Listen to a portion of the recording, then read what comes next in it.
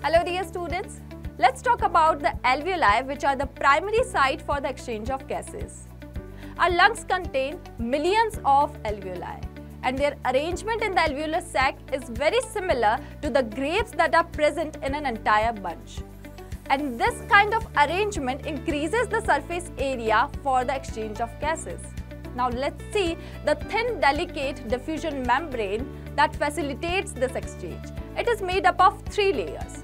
The alveolar epithelium which is made up of thin squamous cells, capillary endothelium lining the blood capillaries and the basement substance which is present between these two layers.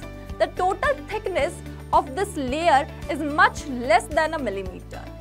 Now it's your turn to answer the question. Identify A, B and C in the given diagram. You need to answer in the comment section. Thank you.